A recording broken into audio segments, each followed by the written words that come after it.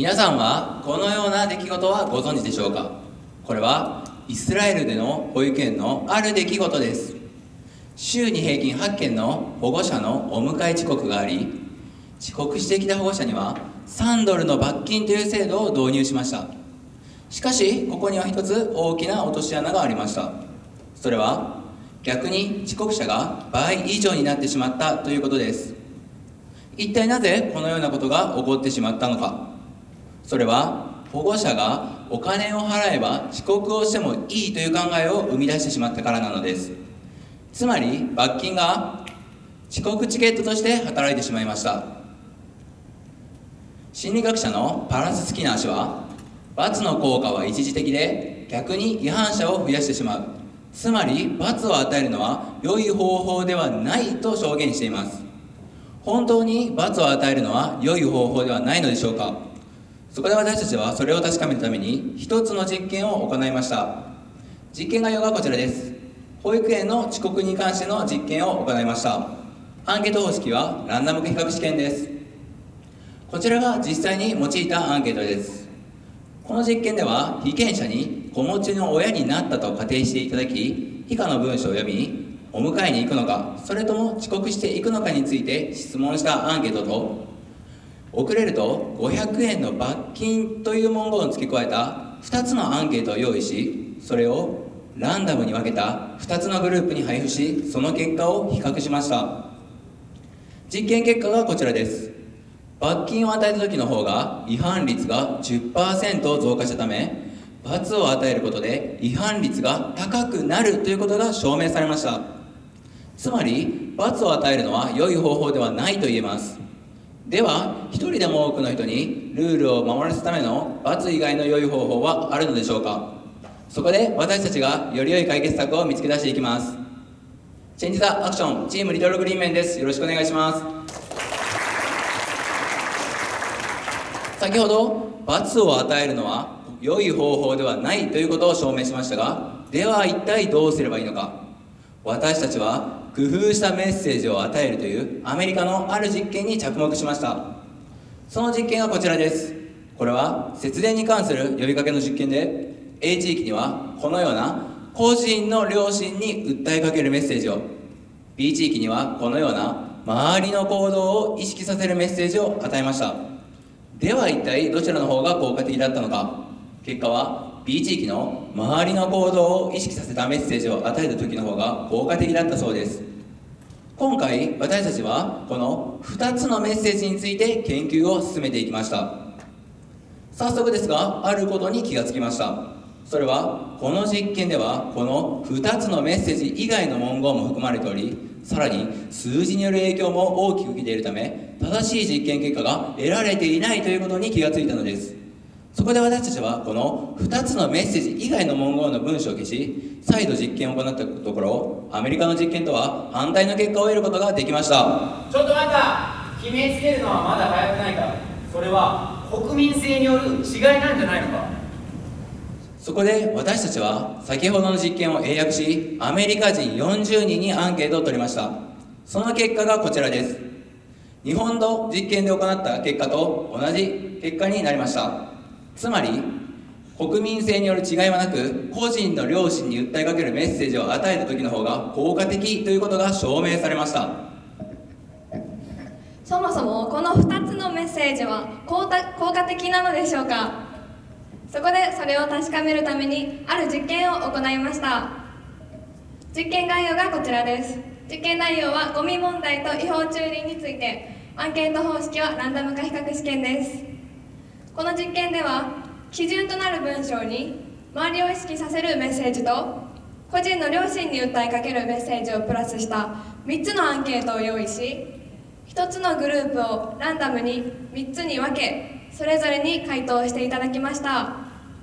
そしてその基準となる文章とそれぞれを比較しました。まず周りを意識させるメッセージは効果的なのか見ていきましょう。こちらがゴミ問題の実験です。こちらの基準となる文章に周りを意識させるメッセージとして周りの多くの人はという青い文字の文章を付け加えました。違法駐輪の実験も同様にこちらの基準となる文章に利用者の多くの人はという青い文字の文章を付け加えました。2つの結果がこちらです。周りを意識の方が遵守率が高かったため効果がありました。続いて個人に訴えかけるメッセージは効果的なのか見ていきましょう。先ほどの実験と同様にこちらの基準となる文章にゴミを捨てると観光地のゴミ問題につながってしまうという緑の文章を付け加えました。違法駐輪の実験も同様に周りのことを考えることができない人間という緑の文章を付け加えました。2つの結果がこちらです。個人の両親の方が遵守率が高かったためこちらも効果がありました。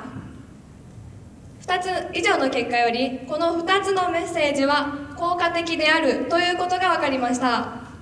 では一体どちらの方がより効果的なのでしょうか。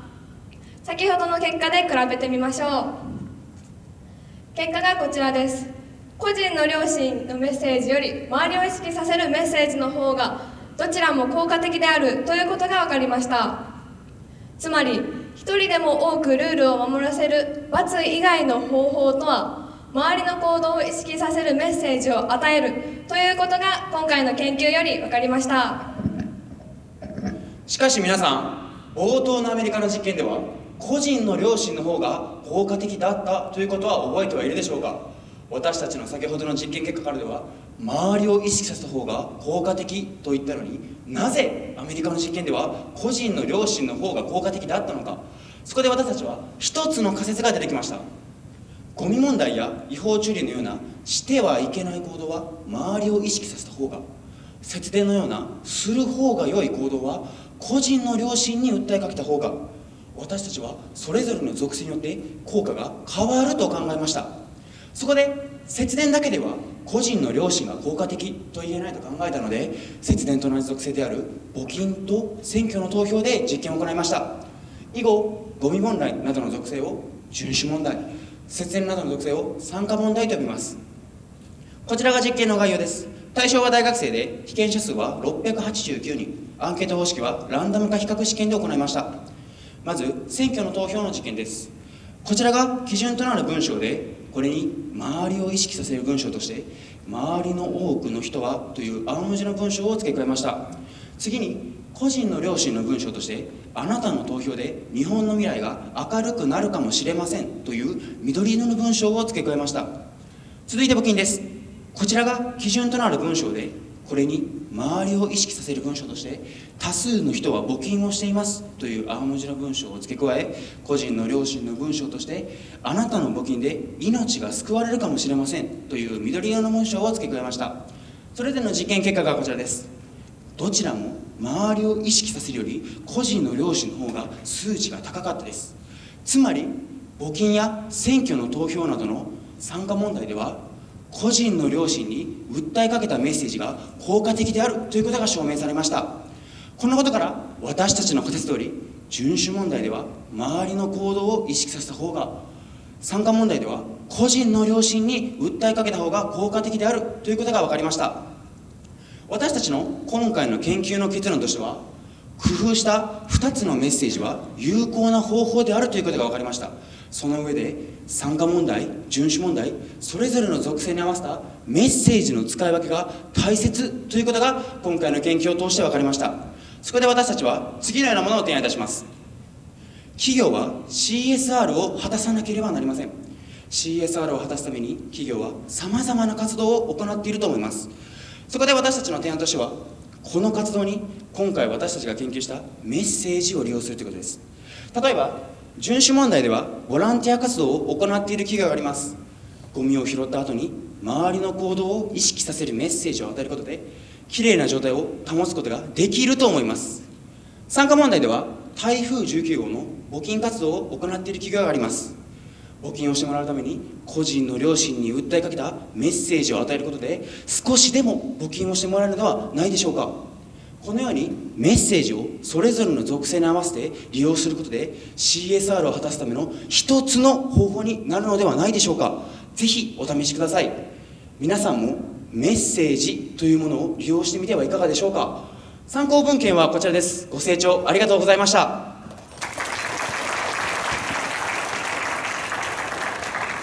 ありがとうございました。えーありがとうございました。えーっと多分これナッジに関係あることかなと思ったんですけれども、そのあたりも意識されて、えー何か研究されたのかなというのがまず1点目。であと2つ確認したいんですけれども、えーこれあのサンプル調査されるときに、まあ、意識してるかどうかというところですね。えーっと周りを、えー意識してるとか。えー自分の両親に訴えかけてるっていうところの、えーどの程度意識してるかどうかっていうのはどのように測定されたのか単にメッセージに入れてるだけでそれをきちんとどこまで認識されてるのかっていうところは、えーどのように測定されてるのかなっていうのは少し気になりました。で、えーまあ、そもそも論で大変申し訳ないんですけれどもこれ学生さんっていう、まあ、サンプリングの話とかがいろいろ出てたと思うんですけれどもサンプル調査なんでサンプリングの話でいきますとこれで、えー大芸大ということで大学生の方々だと思うんですね。でこれを、え全体、え例えば日本全国とか企業とかっていうふうに当てはめて、まあ、母集団に照らし合わせた時にそこに多分大きなギャップがあると思うんですけれどもそのあたりへの考察というか考え方どのように、えー展開したらいいのかなというところが少し説明が足りなかったと思うのでもしあれば補足お願いします。ということで3点ですね。ご質問ありがとうございます。申し訳ありません。一つ目の質問をもう一度伺ってもよろしいでしょうか？一つ目は、えー多分ナッジ効果と関係あるのかなと思ったんですね、えーなので、まあ、そこを意識されてたのかどうかというかまず一点聞きたかったんですけれども。はい。えありがとうありがとうございます。えー一つ目の質問に関しましてのナッジ効果に関しては僕たちは研究はしてませんでしたので今後参考にさせていただきたいと思います。そして2つ目の周りの行動を意識させるメッセージと個人の良心を意識させるメッセージどこまで意識されているかという質問に関しましてはそれに関しましてもそのえー、っとですね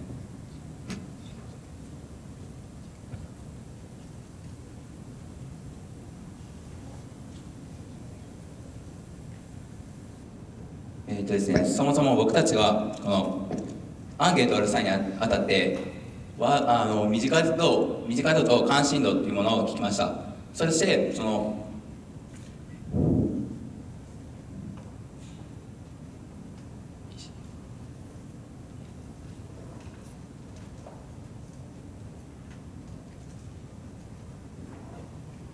すみません。ですね意識に関しましては僕らはすみません研究不足でした。ませんで最後のサンプルは台形だけっていうのですなんですけどその今回実験するにあたって私たちはルールを守らせるっていうことを前提に行ったのでその大学生企業の人方もしくは中その高校生などあえてその取らなかった理由としてはルールを守るのはもう人として当たり前の行動であるっていうのを前提に置いてたので今回は大学生だけでアンケートを取らせていただきました。ということはそこにギャップはないという認識なんですね大学生と、えー大人であっても子供であっても、えールールを守るということに関しては全く関係ない価値観であったりとか生活とかそれまで生まれてきた環境であるとかそういうのは一切関係ないっていうことが前提になってるわけですね。えっとそこまでは言い切れないので今後の研究に参考させていただきます品川様、ありがとうございました。続きまして、ナス様、よろしくお願いします。あの話のストーリーとしては分かりやすかったと思います。あのルールを守らせるための方法っていうのがテーマでそれで、まあ、遵守と参加ですかね。その2つに分けてそれぞれ違いを、まあ、ある程度明確にされたと思うんですね。であのやはり人が動くには、まあ、モチベーションがあったり、まあ、内的とか外的とか、まあ、いろんな動員があってですねこう決まるんですけどもそれとは別の切り口で、まあ、遵守しなきゃいけないことを、まあ、守らなきゃいけないことは守らなきゃいけないっていうことをどうさせるかっていう点では良かったかなと思います。であの一つ質問なんですけどもあの、まあ、2つあるんですけど1つ目はまずこのテーマを選んだそのきっかけどういうことがあってこのテーマを選んだのかというのが1つ目です。2つ目はあの先ほどの話ともちょっと関連するかもしれませんがその組織の対応によってはあの遵守するしないというのは変わってくると思うんですね。あの学校とかもしくは企業とかそういった中でいくとですねやはり退学させられたり、えー辞めさせられたりということがあるので、まあ、遵守の度合いというのは厳しいと思うんですが例えば例えば NPO とか、まあ、地域とかそれからの社会とかね、まあ、そうなると少しこう緩くなってくると思うので、あのこのその組織によっての、えー、遵守と参加については少し何か考えたのかどうかっていうその2つを聞きたいです組織によって、えー、考えあの切り口が変わるんじゃないかなっていうのが2つ目の質問です。ご質問ありがとうございます。まず1つ目の関,、えー、関しての質問をお答えさせていただきます。まずこのテーマの選んだ動機としましては僕たちの班5人いてるんですけどそのうち何人かすぐ遅刻をしてしまう人がいたんでなんで遅刻をするのかではどうやって守らせることができるのかっていうところからじゃあルールを守らせるっていうことでその研究始めていこうということでここまで発展いたしました。その2つ目の質問に関しましては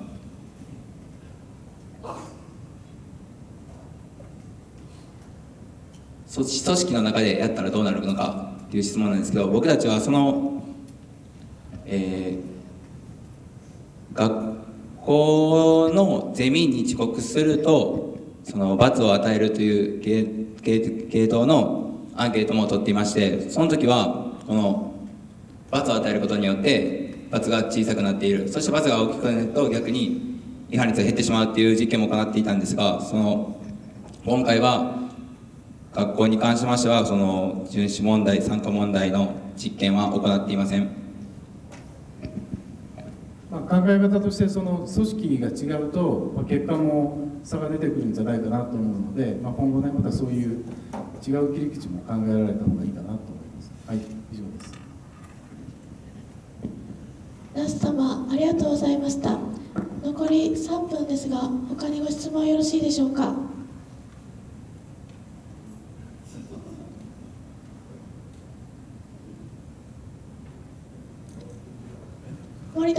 よろしくお願いします。すみません。あのすごい話の流れが良かった。着眼点が良くてあの1回アンケートで、まあ、データ取ったやつをもう一遍仮説を組み立てて、えー、それに持ち込んだっていうのはああよかったなと思うんですけど質問なんですけども参考文献があなたのととこだけあの全部漫画なんですから何か意味あるんですか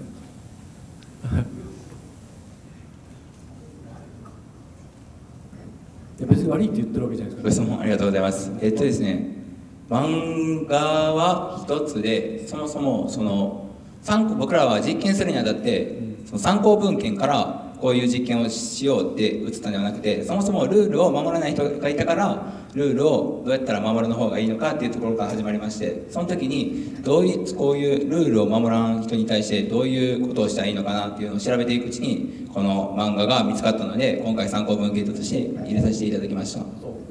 あの全部あのどんな本見てるかって見てるんですけどね。もうあなたのとこだけ漫画2つだからなんか特別ねなんかいい。本読むのが苦手なのかな、まあ、そういうことではないけども最後のところねあの CSR のところをねあそこで決めるといいんだと思うんだけどな。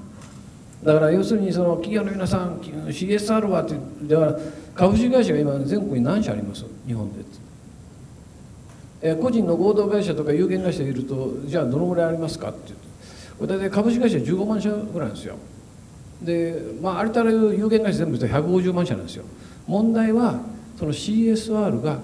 先ほど冒頭話をあなたたちが言ってた義務付けられてない。でここが問題です。でこの義務付けられてルールの罰則があると良くなるんです。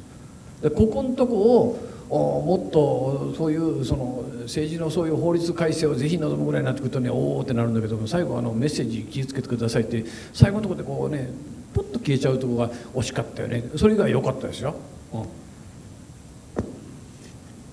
りがとうございます。お時間となりましたので質疑応答を終了させていただきます。以上で藤原ゼミリトルグリーン面の発表終了となります。発表者の皆様ありがとうございました。